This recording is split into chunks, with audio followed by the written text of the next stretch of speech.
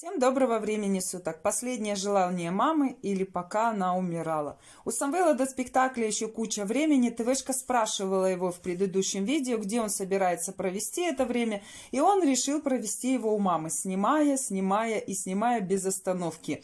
Я теперь понимаю, почему ТВшка ходит лохмато. Актрисе попросту некогда пойти и причесаться. Она все время должна находиться в кадре и о чем-то рассказывать. Трудится баба Таня, не покладая языка. Спектакль уже два или три дня назад прошел, а он все продолжает выкладывать видео, снятые в день премьеры. В общем, это не так уж и важно. Самвел сидел с маменькой, о чем-то беседовал без камеры, надо же, и такое, оказывается, у них случается. Потом ему показалась тема интересная, он включил камеру и попросил маму повторить, что она ему только что сказала, чтобы и мы это услышали. Но ТВ отказалась, говорит, что это предназначенная информация только для ушей ее детей. Есть еще одно у нее желание, но она озвучит его перед самой смертью. А она уверена, что ей это удастся. Ведь никто не знает, какая смерть его ждет. Будет ли у человека возможность сказать что-либо? Ведь смерть может быть и внезапной, а может и не окажется рядом никого из детей, кому она хочет что-то сказать. Она сама не так давно рассказывала, как шла Зина, и ей вдруг стало плохо, резко, а рядом только Зина. Она уверена, что будет умирать в окружении всех своих детей – Баба Таня слишком много смотрит фильмов. Это там только человек лежит в окружении родственников, если это прописано по сценарию, и успевает всем все сказать, напутственное слово озвучить, последнюю волю. Но то в кино, а жизнь это ведь совсем другое. Баба Таня решила перевести тему и рассказать, какой ей сегодня приснился сон. Мне сразу понравилось начало. Рассказывает ТВ. Ей снится, будто в квартиру заходит ее покойный племянник Олег и, обращаясь к ней, говорит, «Так, тетя, только не грубить». Вот это «не грубить» дает очень хорошую характеристику тети. Мертвый даже во сне обращается к ней именно с этой фразой. Я уже убедилась, что по-другому она разговаривать и никогда не умела. Что попросил племянник? Он попросил ее освободить жилплощадь, а дальше очевидное невероятное. Баба Таня вроде бы как стала безропотно собирать свои вещи и со своей сестрой, тоже ныне покойной, выехали из квартиры. Если бы эта ситуация происходила на самом деле, ТВ ни за что не согласилась бы уйти. Она бы кричала, что это ее жилплощадь, она столько сил в нее вложила, она оплачивала коммуналку и все долги, она следила за этим племянником, и теперь она имеет полное право считать ее своей. Я толкованием снов никогда не любила заниматься и сейчас не люблю. Помню, в детстве бабушка говорила, хороший сон воскресни, плохой напополам тресни. Сны она разгадывать тоже любила, и вот все, что я запомнила, это когда она говорила, что если снится покойник и уводит с собой человека живого, вот как сейчас рассказала ТВ, что она ушла с покойной сестрой, то это или ну, это плохо, или к болезни, или к смерти. Но я в это дело все не верю, честно говоря, каждый по-своему трактует все эти сны. Что там на самом деле происходит, я не знаю, честно. ТВшка стала говорить о том, что с тех пор, вот как она перебралась в город, ей каждую ночь что-то снится. Бабе Таня даже по ночам кино крутят. А мне либо ничего не снится, либо я так крепко сплю, что вообще ничего не помню. Я как-то читала статью, что если человек не помнит своих снов, значит он крепко спит, у него мозг отдыхает. Не знаю, насколько это соответствует действительности. Сейчас каждый пишет все, что ему заблагорассудится. В интернете можно найти любую информацию, но она вся будет противоречивая, ну, в основной своей, скажем так, массе. Но я в самом деле засыпаю мгновенно. Вот стоит мне только лечь, я тут же уснула. Ночью я не просыпаюсь. Вот у меня такое ощущение, будто я легла и проснулась, а ночи не было. Как это, ночь уже прошла? Так все, уже закончилось, можно просыпаться. Вот Диана не так давно жаловалась, что она не успевает за ночь отдохнуть, набраться сил, просыпается какой-то разбитый и уставший, будто бы она больная. Я, наоборот, прекрасно высыпаюсь, мне хватает силы и бодрости на целый день. Самвел матери объяснил, что племянник таким образом да, передает ей привет с того света. Это уже звучит как что-то ненормальное. Вот это покойники, передающие привет. Бред сивой кобылы в лунную ночь. Раз ты с ним, мама, не осталась, значит, ты будешь жить. Вот если бы Олег тебе сказал, что ты будешь жить со мной, и ты осталась бы с ним, тогда можно было бы переживать, что с тобой что-то случится. А то, что мама ушла спокойно с сестрой, он будто и не слышал. Ну, фигня это все, конечно. Переключились они с этого сна на Олега, на квартиру, говорит, сестру похоронили, племянника похоронили. В общем, всех они похоронили, деньги за квартиру отдали. Самвел вспомнил, как тетя то есть его мама, хотела похоронить племянника в общей могиле, не хотела тратиться на отдельную, но Самвел вмешался в ситуацию, и все-таки Олег получил свою собственную могилку. И пока Олег лежал в больнице, Самвел говорит, что он и деньги туда перечислял на лечение, ну и похороны, как я уже сказала, сам оплатил. Стали вспоминать, какой был плохой этот племянник, как тяжело маме было с ним жить. Но так зачем же она добровольно с ним жила столько лет и мучилась? У них был свой дом в деревне, как они рассказывали. Когда ТВ заболела и понадобились деньги, этот дом продали. Сделали ей операцию, лечить ее тоже как-то надо было, но все-таки ситуация непонятна. То есть мама выздоровела и куда она должна была пойти. Дом продали.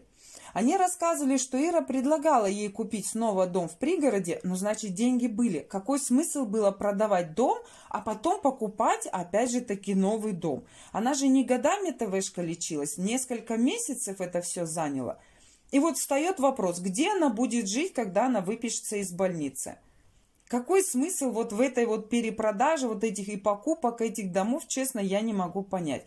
В общем, Ира ей сказала, что на квартиру денег не хватит, а дом она могла бы маме купить. Но ТВшка отказалась. Она хотела жить в городе, и не просто в городе, а именно в квартире своей сестры, в которой стояла та самая вожделенная стенка, о которой баба Таня так мечтала и от которой была без ума. Она очень завидовала сестре, что та живет в городе в своей квартире, и еще плюс, опять же таки, эта стенка у нее была. Когда сестра умерла, ТВшка вообще воспрянула духом. Это же практически хозяйка этой квартиры, которая ей нравилась.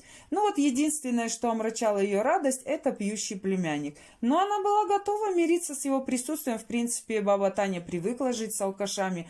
Все ее сожители были именно из этой категории, поэтому она вроде бы как оказалась в родной среде. Баба Таня сказала, что ее племянник был большим любителем боярышника. Самвел спрашивает, а откуда у нас боярышник? Он что, у нас продается? Баба Таня сказала, конечно. Она даже объяснила, какого цвета там крышечка у этого боярышника. Обалдеть. Она даже помнит такие тонкости и детали. Самвел же всегда говорил, что это только в России его пьют. А, как оказалось, у них тоже употребляют данный напиток. У адамянов потрясающая способность начинать за здравие, а заканчивать за упокой. Как у них это получается? ТВшка первая бы кричала за то, что она за Россию. Представляете, до чего договорились? Только что они говорили о снах и тут же плавно дошли до этой фразы. Как получилось? Они стали вспоминать, сколько времени прошло с тех пор, как ТВшка вылечилась от онкологии, метастаз, вот с их визита в Беларусь. По этому вопросу, говорит Самвел, прошло уже лет пять. Ну вот тут ты вышка и сказала, что б я делала, если бы ты, сыночек, не забрал меня к себе, как бы я жила, на что бы я жила, как бы лечилась. Ну, Самвел ей сказал, ну и ходила бы на свою остановку до сих пор торговать. Вот. И он вспомнил всю эту ситуацию, которая сейчас происходит в их стране, и говорит, а если бы ты сейчас осталась жить в своем городе, ты бы была за другую страну, уже бы воспользовалась случаем и уехала к Эдику. Поп свое, черт свое.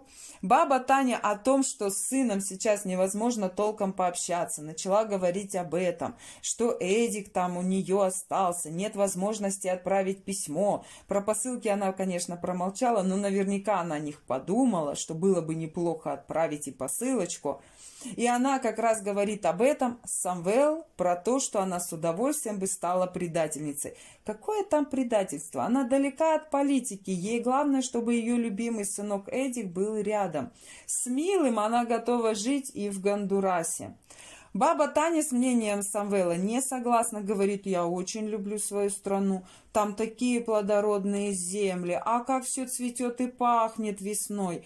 И люди хорошие здесь. Я первый раз слышу, что она хорошо отзывается о своих согражданах. Постоянно она только тем и занималась, что их ругала.